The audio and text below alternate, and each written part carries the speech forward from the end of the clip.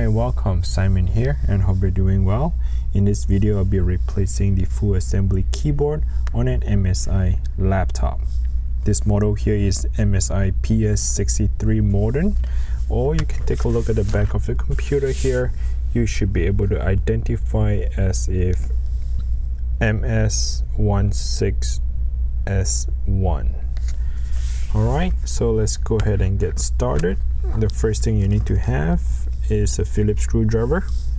We need to remove all the screws here in order to remove the back cover.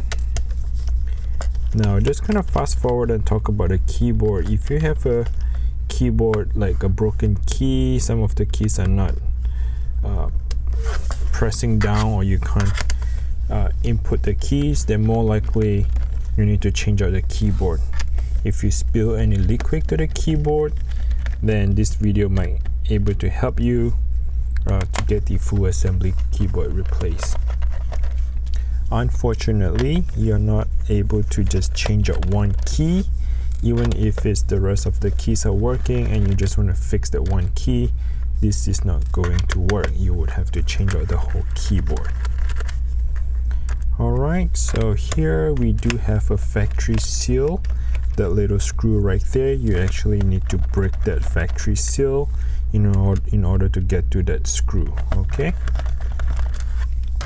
All right once you have removed all the screws the next step is to pry it open. I like to start with the corner. And then the entire back cover would just pop right off. Once you have removed the back cover here you can see the full assembly sorry the uh, internal part of the entire laptop here would be the battery. To remove the battery you can just simply slide the connector down so slide it down. Okay. Still using the Phillips screwdriver. We are going to remove some of the screws here to get the battery removed.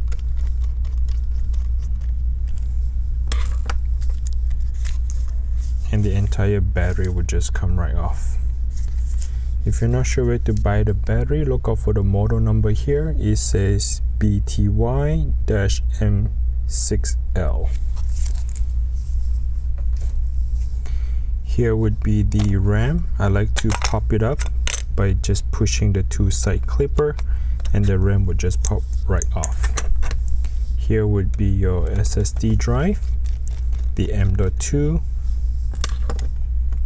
remove the screw kind of lift it up slightly upwards and then slide it at 45 degree angle. You might find it difficult to remove because this thermal pad the thermal pad is like a like a gum. It will stick to the motherboard. So you got to be very gentle when you lift it up. Once you have done the process let's go ahead and start disconnecting some of the cables you like to flip open the clipper up and then slide the cable down towards your body. Okay make sure the clipper is up and open. This is for the keyboard lighting. Looks like the keyboard is on the other side of it. Here comes the speaker. This is the CMOS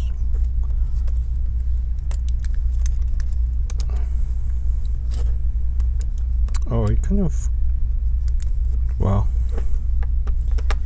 it is inserted on the motherboard so it's fine. Open up the clipper slide that LCD connector away. This is your CPU fan. Here comes the CPU fan. Slide it away from your body to that direction. Here comes the Wi-Fi. It looks like the one with the red cable the tag is on the right side. Is pointing towards the white. Remove the screws. Remove the Wi-Fi card. Gonna remove some of the screws here. There are three screws holding down the hinge. As you can see the three screws that you need to remove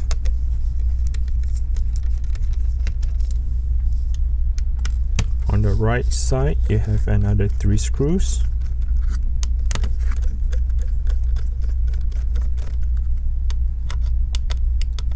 So unfortunately you would have to remove a lot of stuff including the motherboard in order for you to transfer um, the keyboard. So there's one screw here start removing the CPU fan. Now the screws are not the same so as you remove those screws make sure you uh, know where they belongs and put them back together after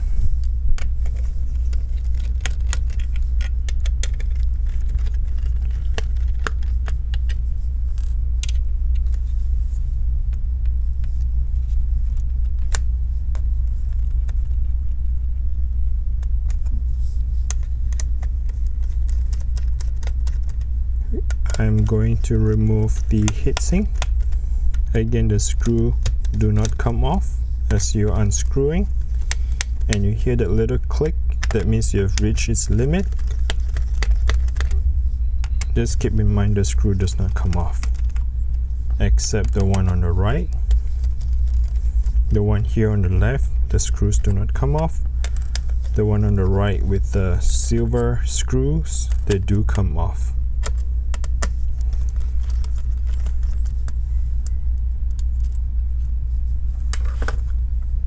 okay and then just remove the heatsink.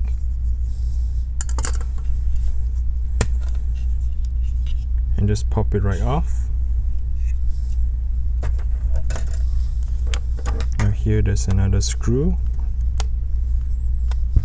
This screw is a lot smaller so use a smaller screw. It is still a Phillips screwdriver but I'm using the 1.5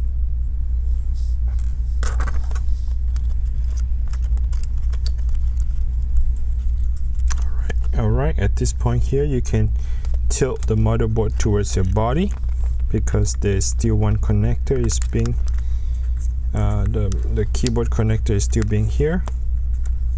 You need to remove and peel the tape off and then open up the clipper and slide it flex cable up. Remember the flex cable is the opposite direction when they we, we install all right this is the full motherboard.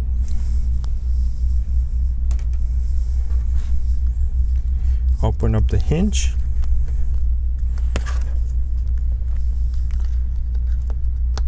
I'm just pushing it up using my fingernail and I slide the entire keyboard out. Alright so here comes the keyboard. Oops excuse me sorry about that.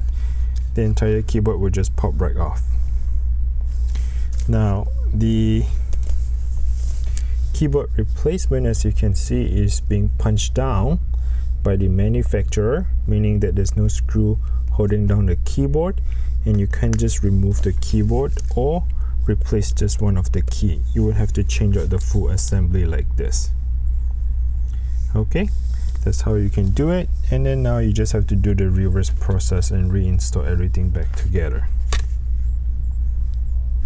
Alright, I hope this video is helpful. Please smash the like button if you find this video is helpful. And again, if you haven't subscribed, please feel free to subscribe. I appreciate you for, for subscribing the channel and liking the channel as well. I hope you all the best. Thanks for watching. Until next time, bye now.